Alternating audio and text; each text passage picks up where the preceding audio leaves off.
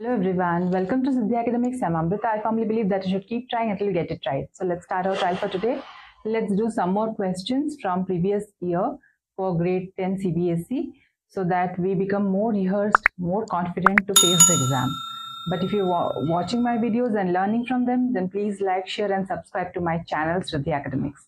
Let's start. Let's start this question which belongs to uh, area and sector formula. The hour hand of a clock is 6 centimeter long. Find the area swept by it between 7.20 am and 7.55 am. Let's draw a rough, rough clock. Suppose this is the clock and this will be 12, 1, 2, 3. This is a rough uh, diagram of a clock. 5, 6, 7, 8, 9, 10 and 11.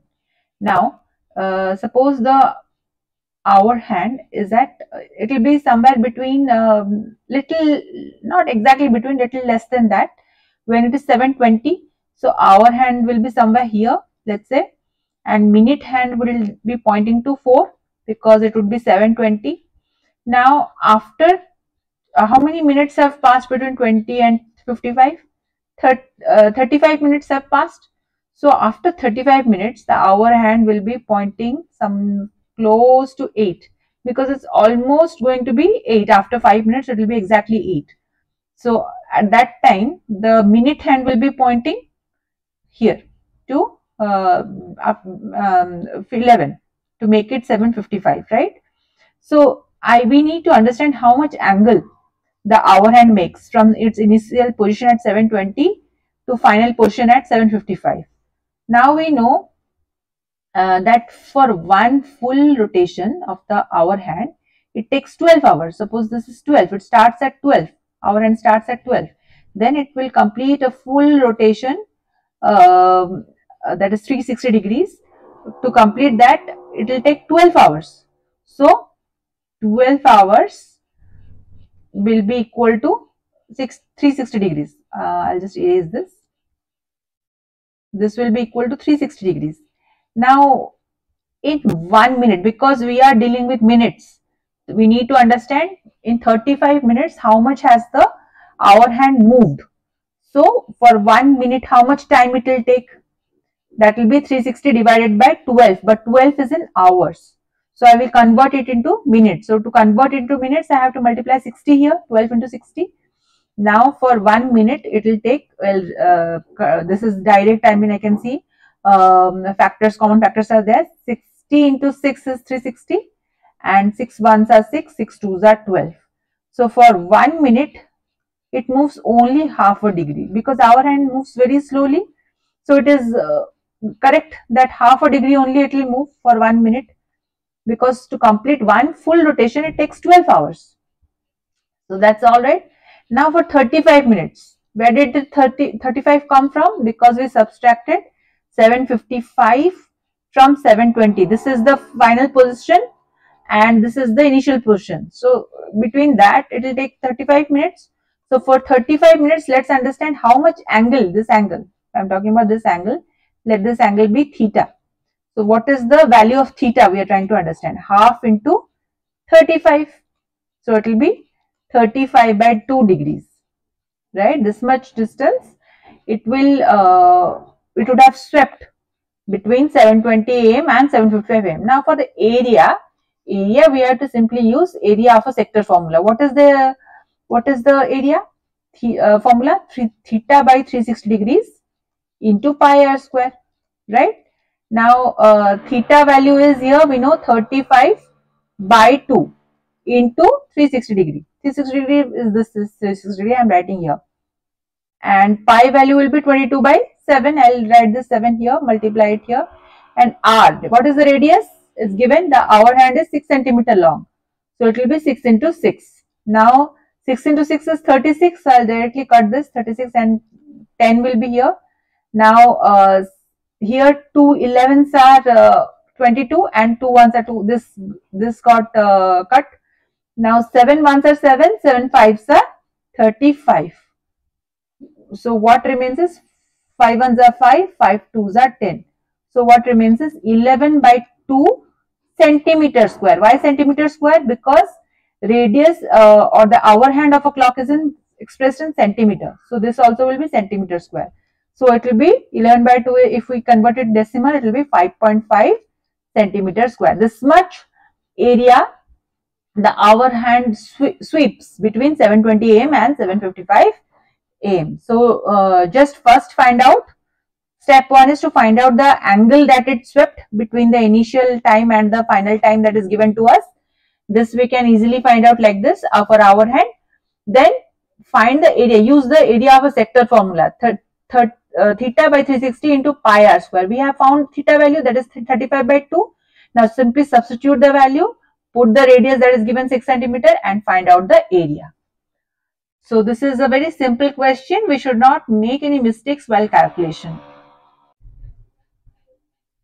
Let's start this question from probability. If three coins are tossed simultaneously, what is the probability of getting at most one tail? Now, what are the most important terms here? Three coins are tossed simultaneously and they are and the probability of what we need to find out getting at most one tail. Means I can get no tail also. That is also a favorable outcome. And uh, at least at most one tail not more than that. If two tails are coming then it is not uh, this this I will not count into uh, or three tails are coming, this I will not count into my favorable outcomes.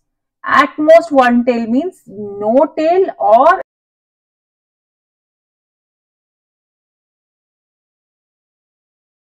the all the uh, outcomes, total number of outcomes, how they will, I'll erase these lines, how these, um, how the coins might pan out after being tossed.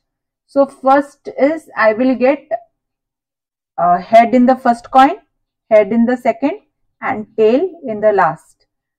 Uh, second outcome could be head, tail, head. Third outcome could be tail, head, head. And last and uh, another outcome could be head, head and head. So these are the outcomes. One more uh, uh variety could be like uh, tail, tail, I get two tails along with them one head or tail, head, tail. Then I can get here head, first coin will show me head, the next two coins will show me tail, tail and last outcome could be tail, tail, tail. These are the total number of outcomes, right? Total number of outcomes. This is my entire set of total number of outcomes. So total number of outcomes will be equal to 8. Now favorable outcomes, number of favorable outcomes, let's understand what that set will have. Obviously, it will not have all the 8, 8 uh, I'll just erase this here and write it, rewrite it again. Obviously, it will not have all the um, I mean uh, everything from this set. It will have head head head head head. Why? Because at most one tail. So no tail also is one of one out of the number of favorable outcomes right? It will come come in the favorable outcome category. So head head head and there could be head head tail right? At most one then it could be h t h also tail in the middle or it could be tail in the beginning tail head head. So these are the four favorable outcomes. One two three and four. This set has four so four favorable outcomes are there. So probability of getting at most one tail. That will be 4 by 8 right? Number of favorable outcomes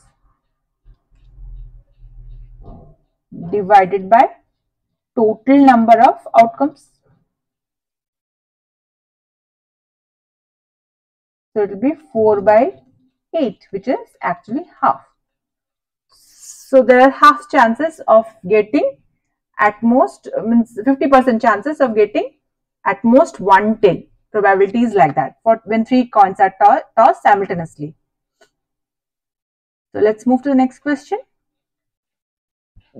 The next question is from trigonometry. The angle of elevation of the top of a tower from a point on the ground which is 30 meter away from the foot of the tower is 30 degree. So if this is the tower, okay, and uh, the angle of elevation from a point on the ground, where is the point? Point is 30 meter away.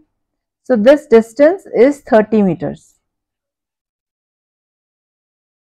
And the angle of elevation that's given to us is 30 degrees. So this is 30 degrees. Find the height of the tower. Very easy. Just we need to use tan 30. Tan 30 degrees is equal to, let this height be h, height of the tower be h, then h by 30. So what is the value of the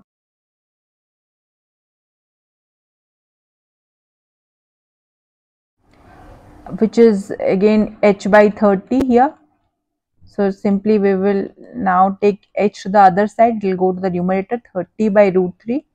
Now what is this actually? Root 3 into root 3 is equal to 3, right? So root 3 in the denominator cancel it out. What is left in the numerator is 10 root 3 meters. So the height of the tower will be nothing but equal to 10 root 3 meters if the value of root 3 is given in such a question, then you have to substitute here and find the value. Otherwise, you can leave it like this, not a problem. Okay. So, this is a very simple question and uh, solution is also coming up very easily. But this is a very repeated question. So, mind it. Please go through uh, all the trigonometric identities and the values to not make any mistakes.